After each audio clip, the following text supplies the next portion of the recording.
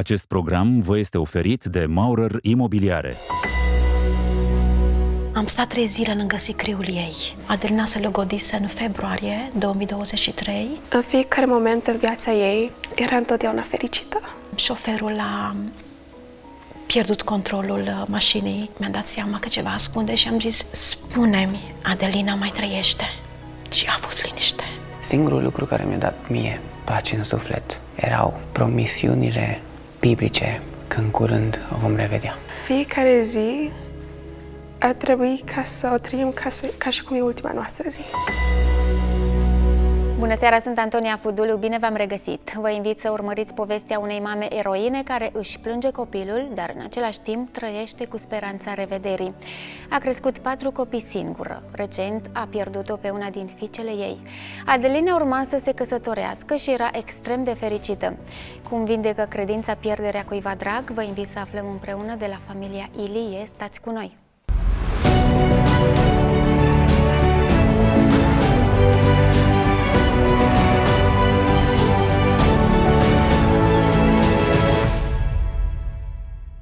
Patru frați crescuți doar de mamă, eroina care astăzi își plânge unul dintre copii cu o credință despre care mulți nu am auzit. Bună seara, dragii mei! Bine ați venit la Spunem Cum! Bine v-am găsit! Mulțumim pentru invitație! Vom sta de vorbă cu mama Felicia, cu Gabriel și cu Sibel. Și așa cum am decis de comun acord, vom filma un interviu separat cu Mario, băiatul dumneavoastră cel mare, pentru că el are o poveste a lui și uh, cei de acasă vor reuși să vă cunoască separat, dar cumva uh, ceva vă, vă unește și vom afla la sfârșitul acestui interviu despre ce este vorba. Uh, deși incompletă, sunteți o familie deosebită, care purtați în inimă o credință aparte. O credință despre care vom afla mulți dintre noi astăzi. Pentru început aș vrea să vă întreb de unde proveniți din România? Noi suntem din județul Sibiu, în Mediaș, acolo m-am născut eu, acolo s-au născut și uh, copilașii mei, toți patru. Ok. Știu că uh, cu timpul v-ați stabilit în Marea Britanie. Uh, de cât timp ați, sau când ați plecat pentru prima oară din țară? Am, am plecat cu copii în Marea Britanie în 2007, în vara aceea, da, vara anului 2007. Uh-huh. Uh-huh. Și dumneavoastră aveți o poveste încă din copilărie. Știu că proveniți dintr-o familie cu un tată ateu și în această familie ați trăit scene greu de uitat, dar dumneavoastră ați reușit să vă apropiați de Dumnezeu și să creșteți singură patru copii. De ce singură? Și ne povestiți atât cât simțiți nevoia. Uh, da, deși copilăria mea nu a fost uh, prea fericită, uh, părinții mei uh, au fost uh, oameni muncitori și uh, au făcut ce au putut ca să ne crească pe noi cele șase fete. Au mai fost probleme care m-au marcat. Uh, apoi uh, am plecat de acasă destul de tânără, la doar 17 ani. Eram însărcinată cu uh, primul meu băiat și uh, am plecat cu... L-am urmat pe tatăl uh, copilului meu acolo unde, unde m-a dus el.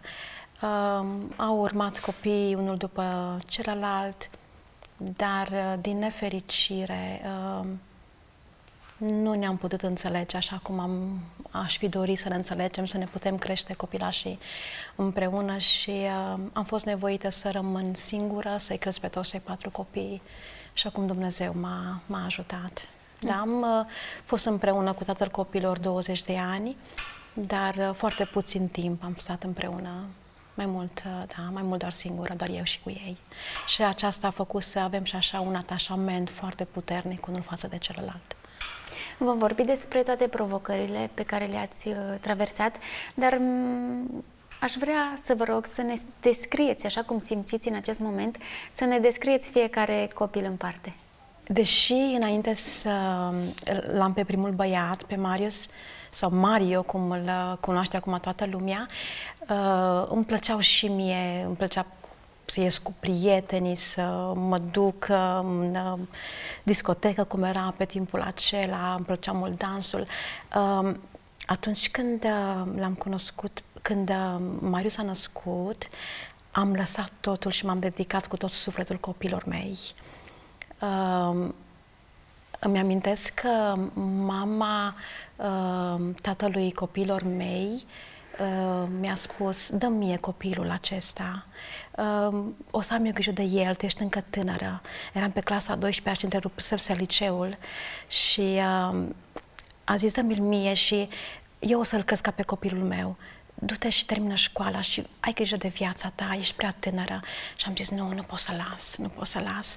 Uh, vreau să spun că toți patru, nu pentru că sunt eu mama lor, dar au fost atât de deosebiți și plini de respect și de dragoste.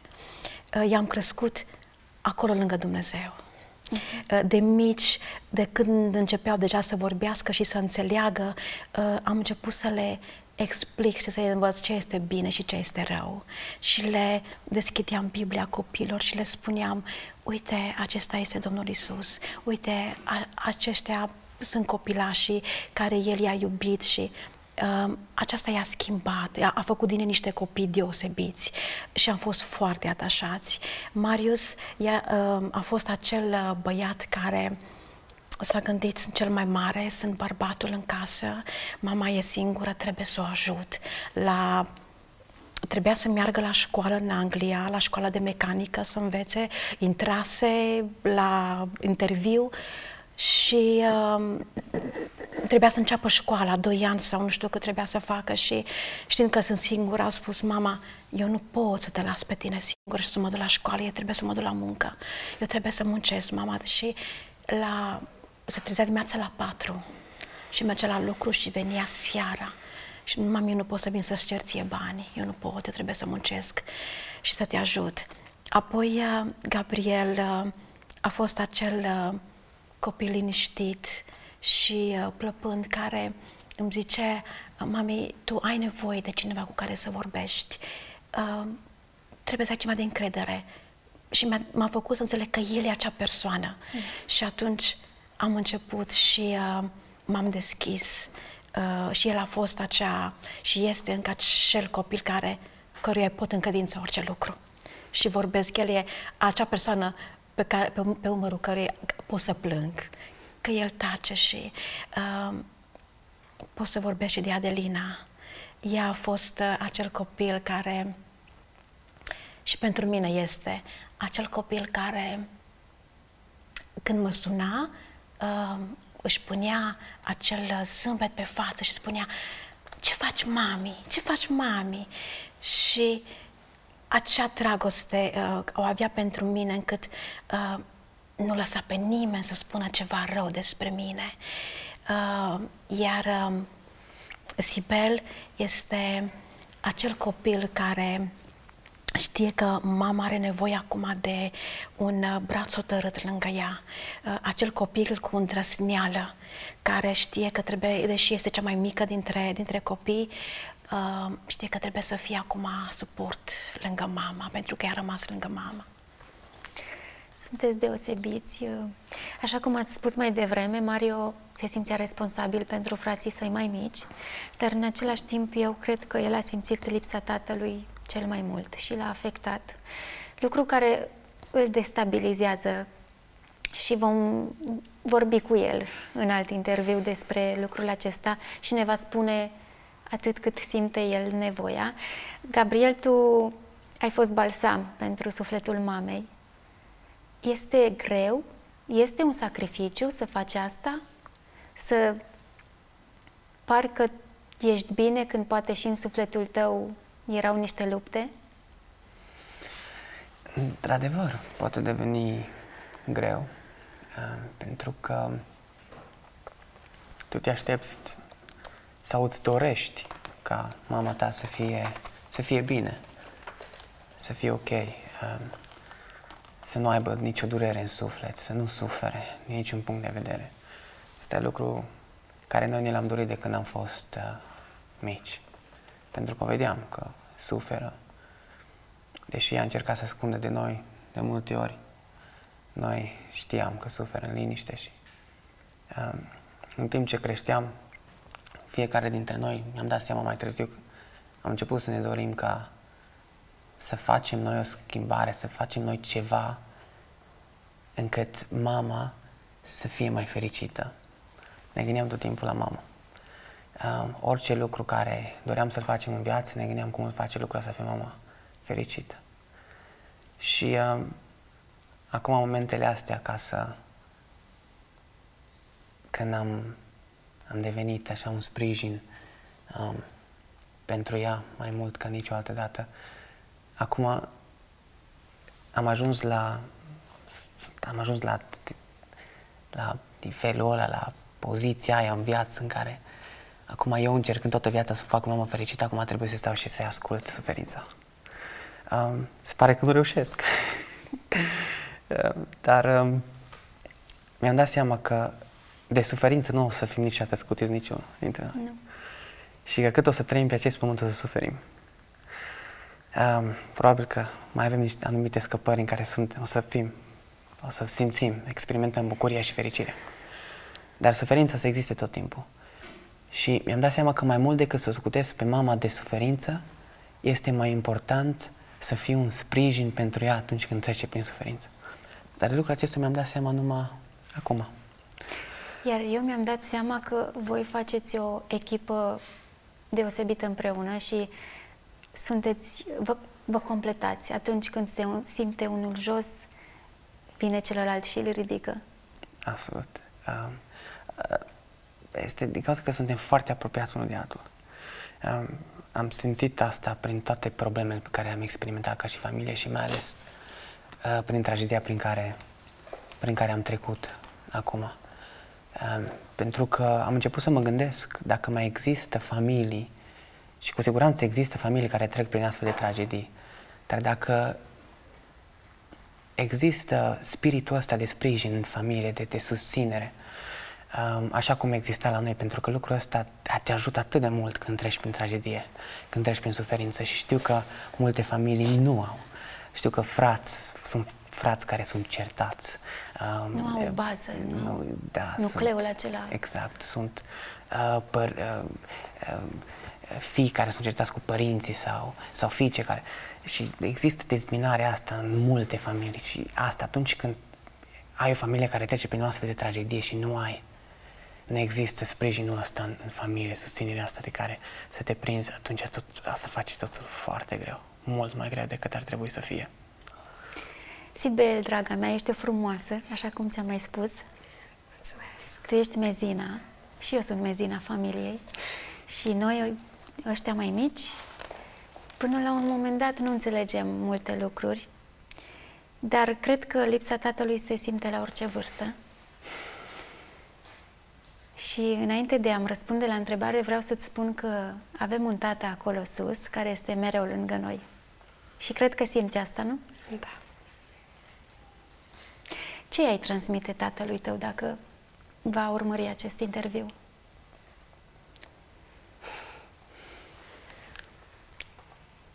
Ca mai mult, mai ales în momentele astea, ca să fie mai aproape de noi că noi mai ținem legătura, mai îl sun, mai, um, mai mult eu îl sun decât el pe mine, dar um, mai ales în timpul ăsta parcă am nevoie mai mult de cineva lângă mine, adică de oameni lângă mine care să văd că îi pasă. Eu știam că tata, nu, tata nu era acolo de când era mică, dar știu că e tatăl meu. Și um, crezi că se simte vinovat? Puțin, da. Da.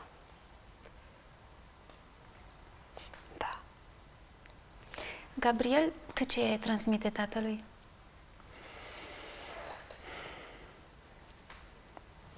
Eu cred că încerc să mă gândesc din punct de vedere a unui bărbat, cum gândește un bărbat, ce simte un bărbat. Um, într-adevăr nu mă pot compara în totalitate cu el, dar încerc să mă gândesc oare ce simte el în momentul acesta și știu că simte durere. Um, știu că um, ceea ce ni s-a întâmplat, tragedia asta care ni s-a întâmplat, prin care trecem fiecare dintre noi, uh, asta l-a afectat mult. Um, o simt chiar dacă nu prea vorbește. Um, și de fiecare dată când am conversații cu el, văd asta în ochii lui. Văd și în felul în care um, manifestă și văd, um, văd că suferă. Um, și mi-aș dori să, să fim mai, um, mai aproape de, de el ca și copii. Um, noi, locuind în Anglia, face lucrul ăsta greu. El locuiește în România. Um, într-adevăr, așa cum spunea și Sibel, noi mai mult timp am petrecut cu mama. Uh, nu prea avem relația aia strânsă cu el așa cum ar fi trebuit să o avem. Uh, și mi-ar fi dorit să avem relația asta un pic mai strânsă. Mai ales acum când trecem prin momentele acestea. Cred că asta ne-ar fi ajutat mult mai mult decât uh, da, să fim despărțiți. Eu cred că se va întâmpla asta la un moment dat. Da. Să-l simțiți mai aproape. Ați mai spus că mama v-a crescut aproape de Dumnezeu, doar că nu ați reușit să experimentați o relație strânsă cu Dumnezeu. Oare de ce? Eu cred, eu cred uh, pentru că din cauza motivului ăsta, pentru că mama ne-a crescut aproape de Dumnezeu. Uh, noi, de când, de când am fost mici până în momentul acesta, am fost învățați de mama. Uh, până la un moment dat anume în care noi trebuie să începem să experimentăm noi pe Dumnezeu. Mm-hmm. Și cam asta este ideea. Noi nu l-am experimentat pe Dumnezeu personal. N-am avut noi experiența asta cu El. Um, experiența care am avut-o noi cu Dumnezeu era ex- prin mama. Uh-huh. Um, și experiențele ei cu Dumnezeu erau experiențe care uh, ne, ne plăceau și ni le doream și noi. Um, și um, cam, uh, cam, cam asta. Doamna Ilie, ținând cont de faptul că ați crescut într-o familie cu un tată ateu, cum ați ajuns să, să vă lipiți atât de tare de Dumnezeu și să-L iubiți? Um, la 17 ani, când am fost însărcinată cu Marius, um, tatăl lui m-a dus în casa mamei lui, care uh, era creștină. Și, uh, deși pe mine nu mă interesa Dumnezeu, acasă mergeam la biserică doar că de Paște și de Crăciun, dacă mi-amintesc bine, uh, și doar să mă întâlnesc cu copiii, cu ceilalți copii de vârsta mea să ne jucăm.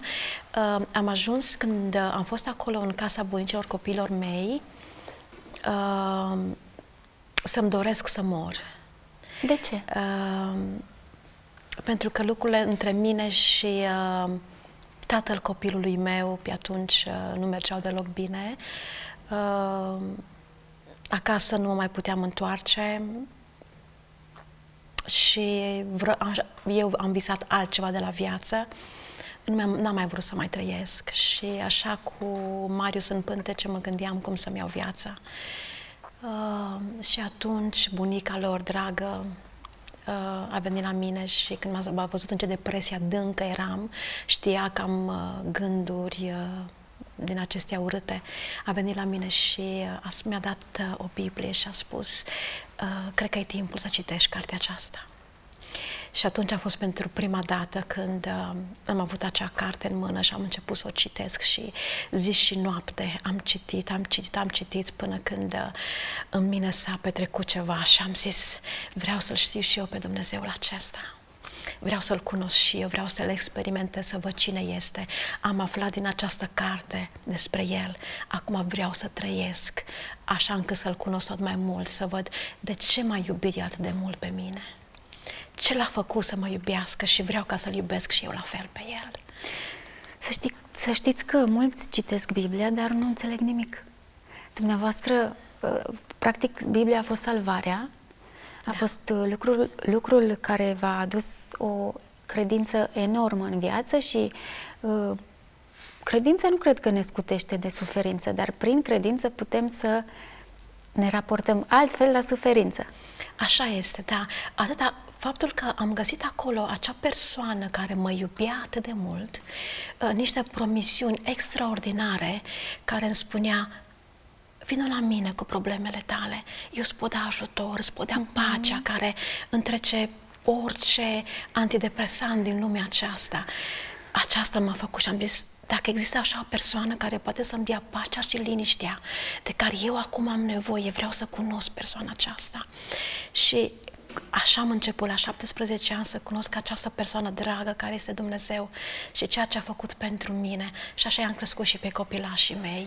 Și aceasta ne-a ajutat astăzi să putem să stăm în fața oamenilor și să putem să zâmbim, deși trecem printr-o tragedie, să putem zăbi și să spunem asta nu e sfârșitul.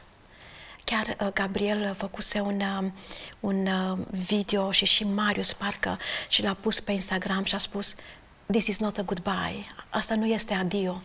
Noi avem o speranță și cine ne-a dat această speranță decât acest Dumnezeu că într-o zi ne vom întâlni din nou cu cei pe care i-am pierdut și n-am vrut să-L mai las pe Dumnezeul meu.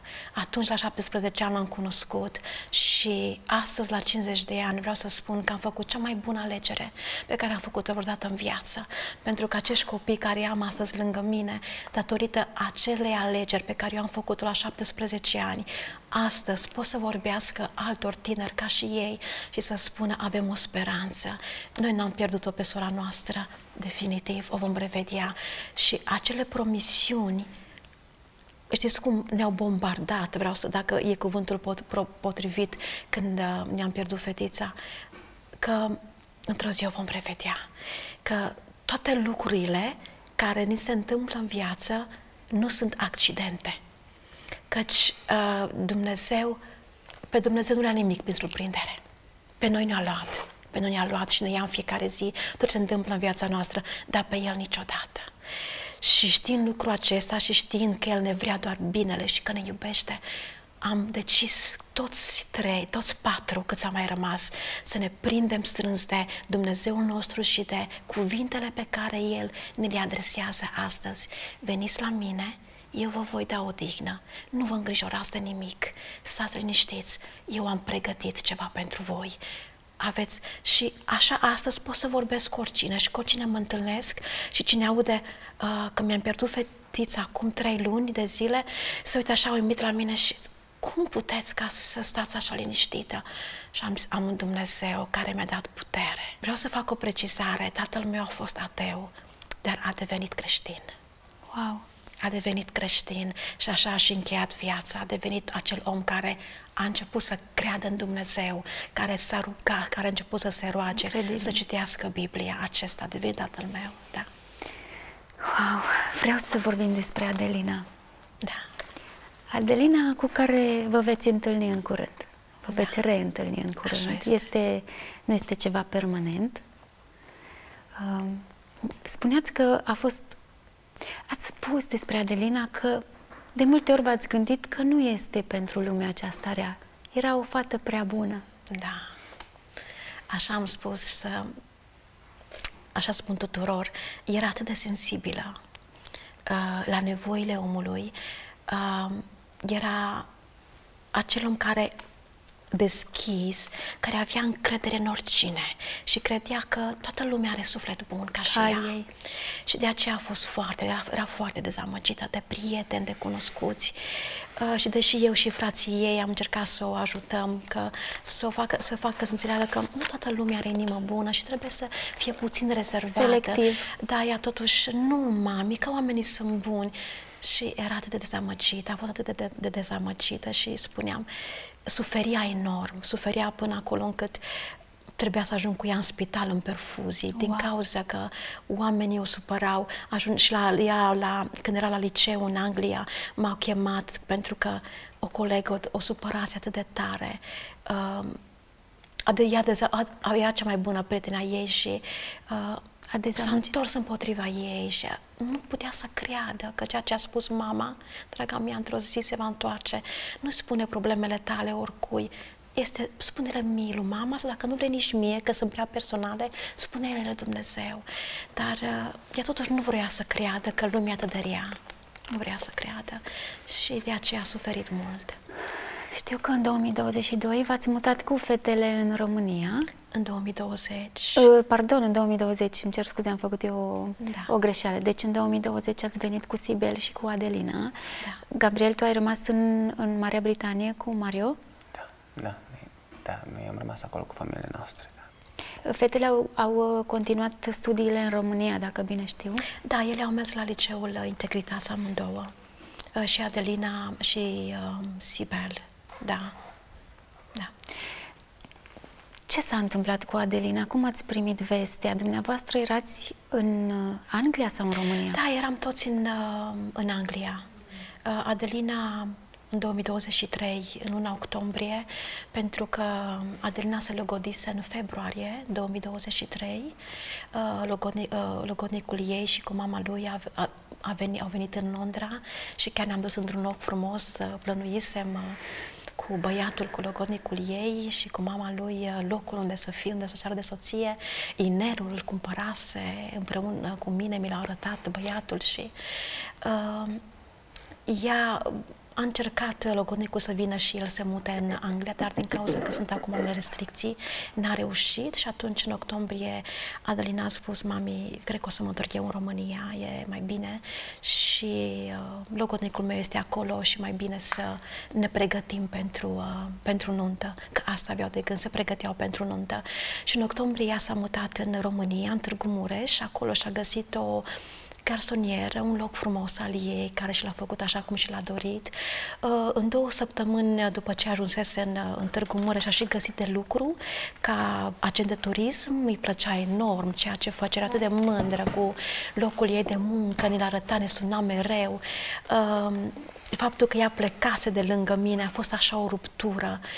Noi am fost mereu, cum spunea și Gabriel, uniți și ea a plecat acum și eram noi toți patru în Anglia, ea era în România, dar ne suna continuu, zilnic. Pe mine cel puțin de trei, patru și de și mai multe ori pentru orice lucru. Mami trebuia să le știe pe toate, mami trebuia să audă de toate și tot ce se întâmpla cu ea. Și uh, în decembrie mi-a spus, mami, uh, vineri mă duc să mă întâlnesc cu colegii mei de la Integritas. Ei terminaseră deja școala, fiecare erau la diferite facultăți. Uh, și acum au zis, haide să ne întâlnim, să stăm puțin împreună și să vedem ce am mai făcut. Să mâncăm împreună ce am mai făcut. Și uh, așa au făcut, s-a dus în Brașov undeva la o cabană acolo, acolo s-au întâlnit.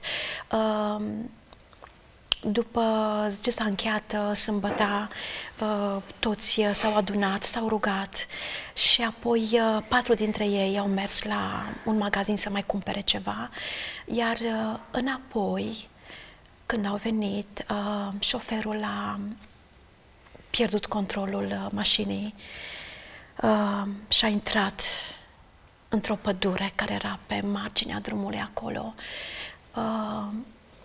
Uh, se pare, din câte am văzut pe certificatul uh, care mi-a fost dat de la medicul legist, că Adelina a murit imediat. A fost o lovitură foarte puternică la cap și a murit imediat. Au găsit-o pe scaunul ei, dar uh, uh, paramedicul din, uh, care a fost de serviciu în ziua aceea ne-a scris, deci nu ne cunoșteam. Uh, l-a găsit pe Marius și a scris un mesaj și spune am fost de gardă în noaptea aceea blestemată. Uh, am încercat tot ce am putut ca să o salvăm pe sora ta. I-am dat adrenalină, am resuscitat-o, i-am dat șocuri mai multe decât uh, uh, se puteau, dar, spunea el, îngerul morții a fost mai puternic decât noi. Uh, eu și cu uh, Sibel eram în mașină, mergeam într-un orășel, era seara, sâmbătă seara, și am sunat-o pe Adelina. Ea nu ne-a răspuns. De două ori am sunat-o și nu ne-a răspuns și ea imediat răspundea sau ne suna înapoi, dar atunci nu s-a întâmplat lucrul acesta și Am zis, mai ce se va întâmpla cu copilul acesta, cu fata asta? Și apoi lăgodnicul ei ne-a sunat chiar după 5 minute. Ne-a sunat lăgodnicul ei și a spus, "Uh, sunați un pic pe... Și ne-a dat numele colegului ei, unui coleg de-a ei. Am sunat și ni s-a spus uh, de o colegă de-a ei, uh, au avut un accident, pe Adelina o resuscitează, dar e bine. Și atunci eu m-am alarmat, am zis, nu sunt asistent medical, eu știu ce înseamnă resuscitarea, înseamnă că i s-a oprit inima. Nu, nu, nu, e bine. Și apoi a închis telefonul și ne-a sunat un alt coleg de al ei și am întrebat, spunem ce e cu Adelina, unde e Adelina? Și el a spus, Adelina nu e bine. Și imediat mi-am dat seama că ceva ascunde și am zis, spune-mi, Adelina mai trăiește. Și a fost liniște. Acea liniște care m-a pătruns atât de adânc, am știut. Acea liniște în care așteptam acel cuvânt care știam că va veni. Și după câteva clipe de tăcere, o tăcere pe care nu o voi uita niciodată, a venit răspunsul scurt. Nu. Adelina nu mai e în viață. Atunci am, uh,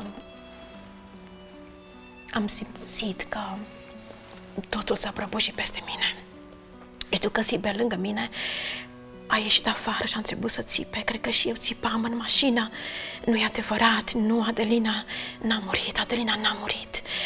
Uh, știți cum e atunci când copilul ți-e bolnav și aștept să se întâmple ceva cu el, aștept, te gândești că nu mai are mult și... Dar Adelina era un copil sănătos. Adelina era un copil plin de viață. Adelina se pregătea de nuntă. Adelina deja... Adelina deja își închipuia nunta ei. Am găsit pe laptopul ei, își făcuse niște poze cu ea și cu locotnicul ei, mire și mireasă. Cam cum ar fi fost.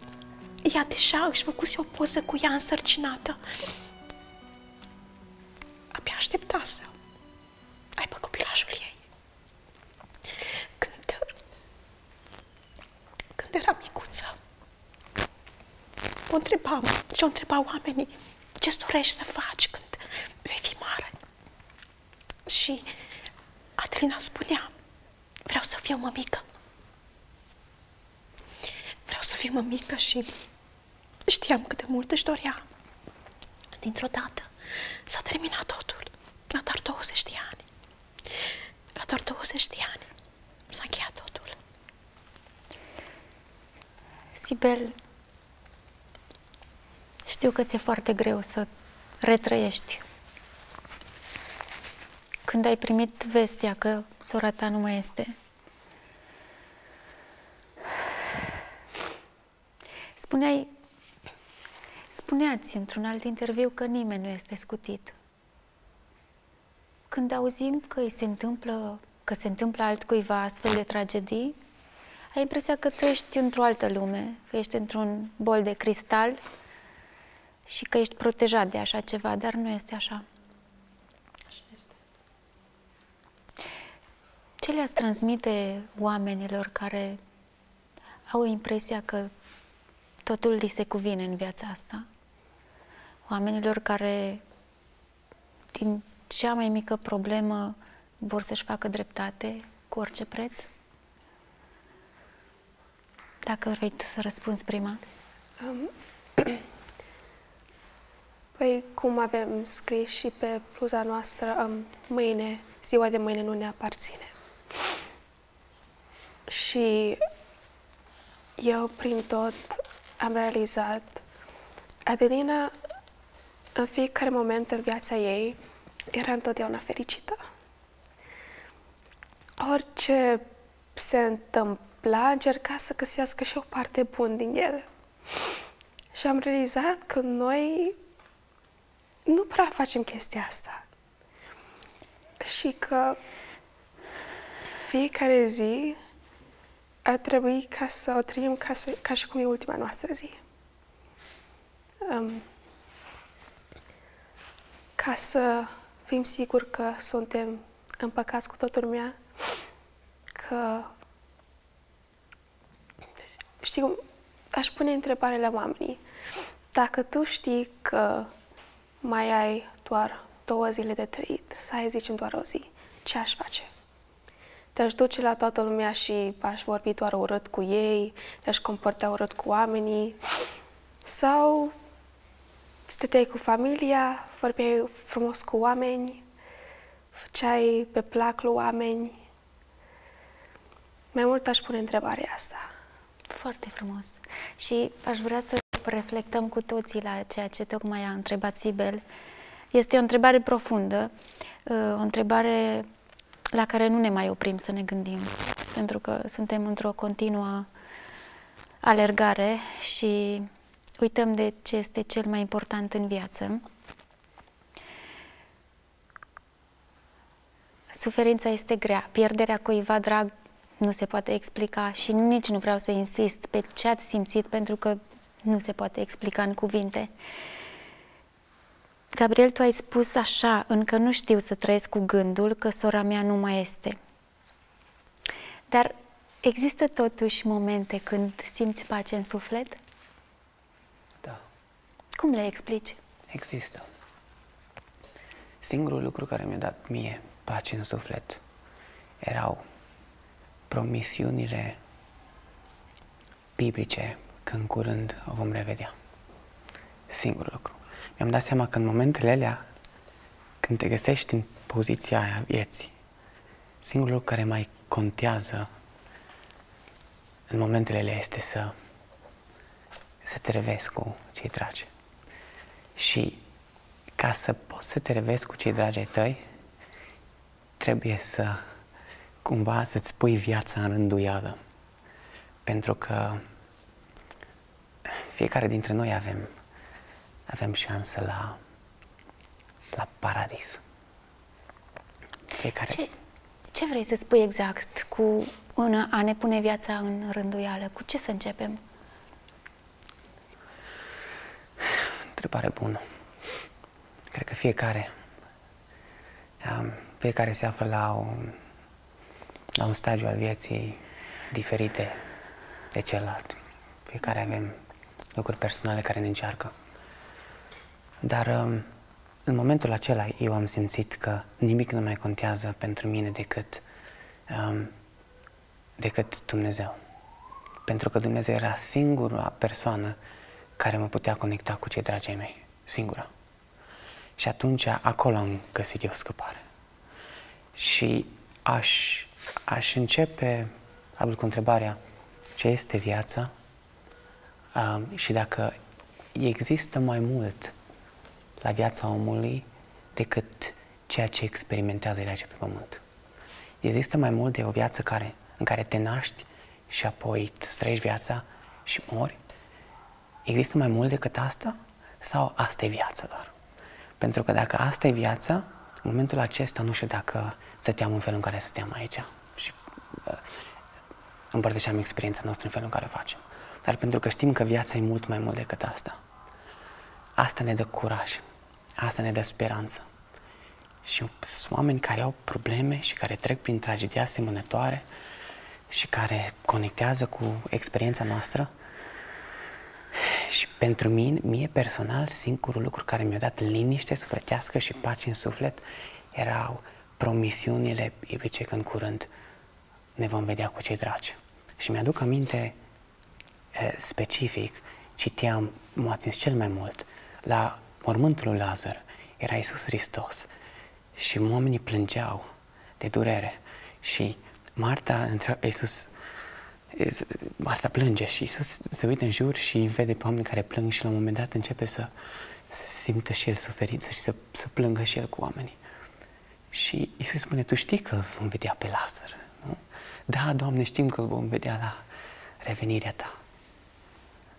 Și apoi Iisus spune, uite Marta, toți cei care cred în mine, chiar dacă au murit, vor avea viață. Asta e una dintre cele mai uh, cele mai importante lucruri care eu puteam să-l aud în momentul ăla, care să, să-l cunosc în momentul de față. chiar dacă mori, ai viață. Cum și probabil că unii care aud și ne ascultă, cum e posibil să mori și să ai viață în același timp? Dar asta e promisiunea care ne dă Dumnezeu.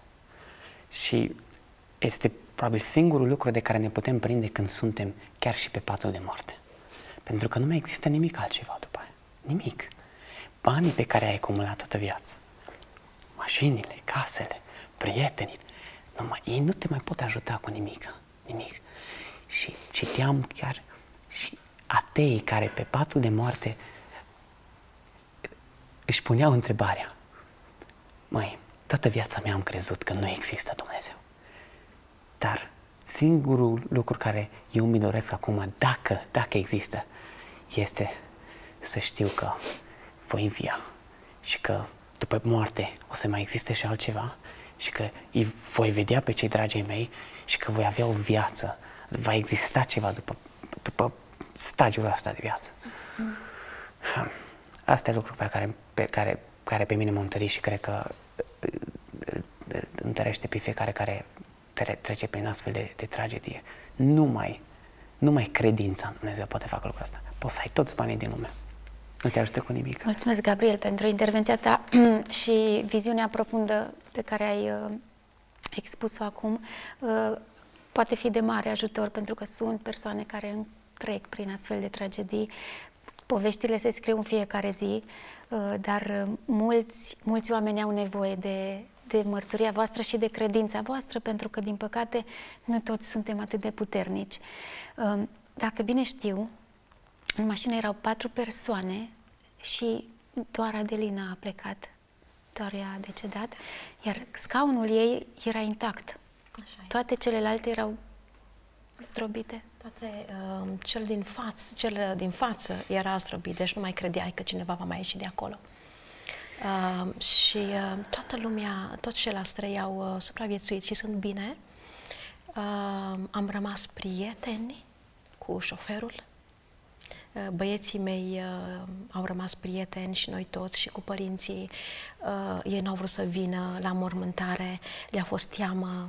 Uh, știți cum este, cum spun oamenii, ochi pentru ochi. Uh, Marius, Mario a avut uh, și vă va vorbi și el în emisiunea despre experiența care a avut-o cu ce putere a primit ca să nu se gândească la răzbunare, ci să poate să-l ia în brațe pe băiatul acela să spună te iert, te iert. Și așa au făcut toți și așa am făcut și noi și eu. Uh, te iert, aveți grijă de voi, te iertăm. Um, astăzi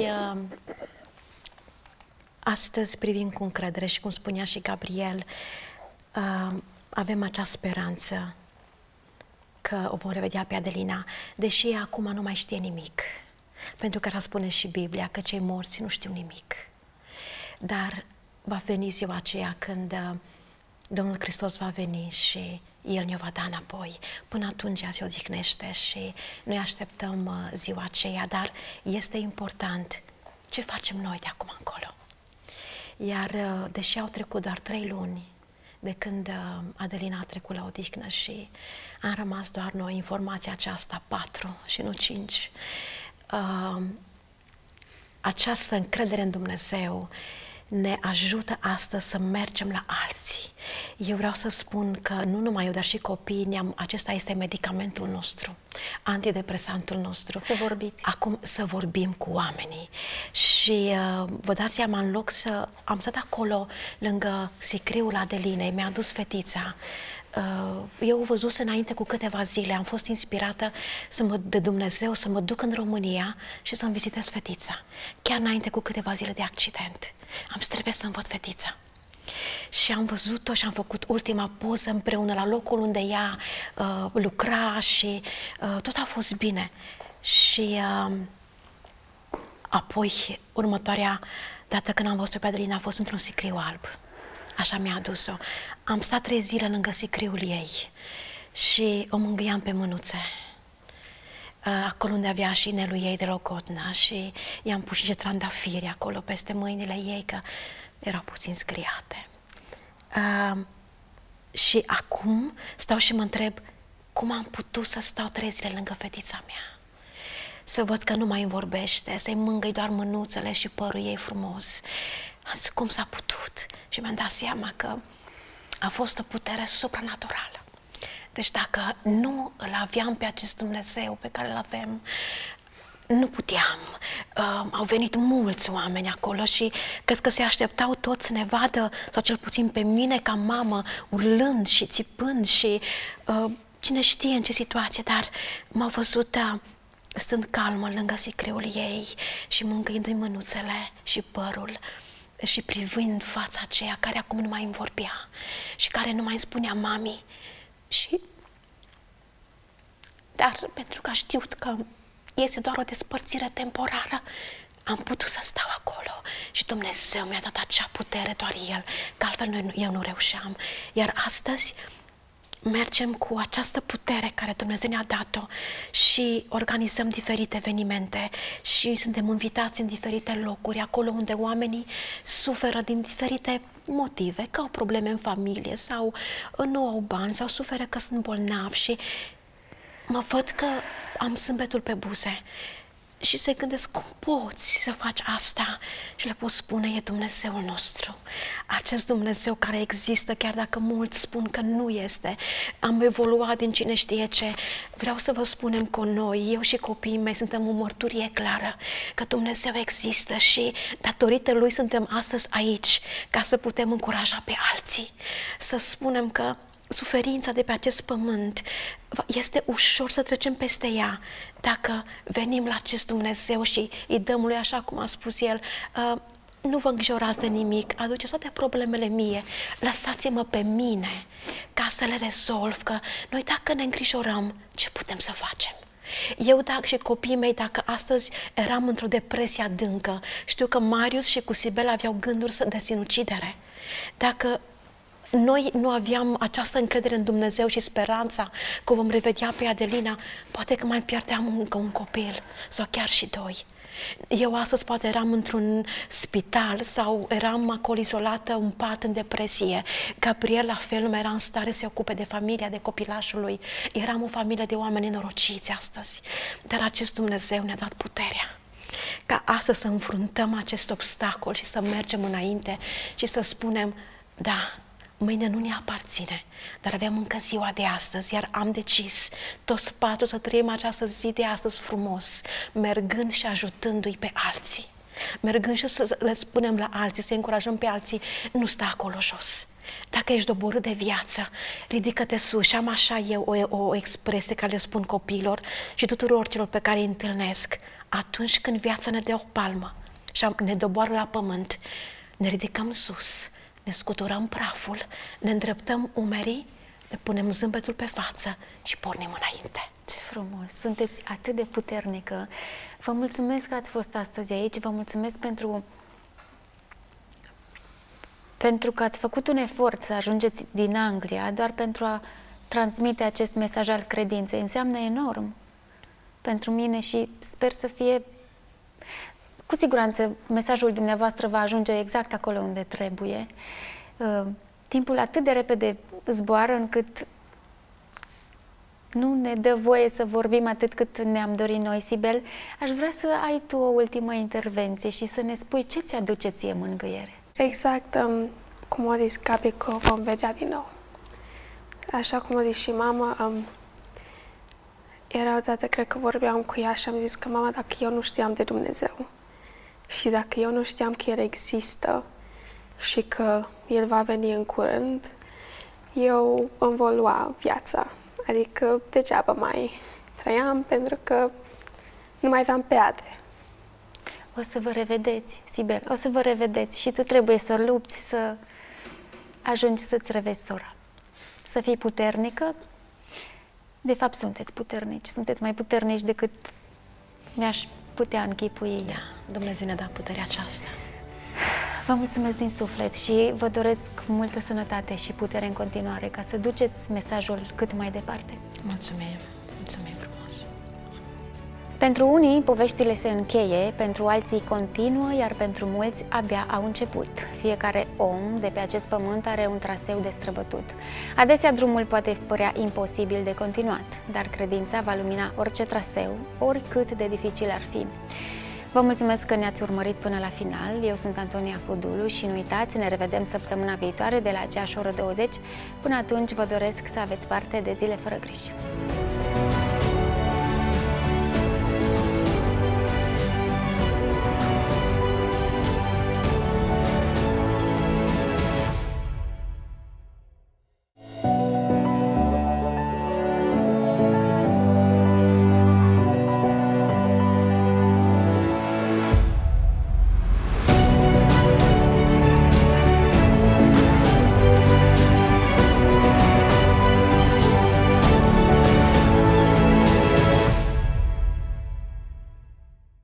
Acest program a fost oferit de Maurer Imobiliare.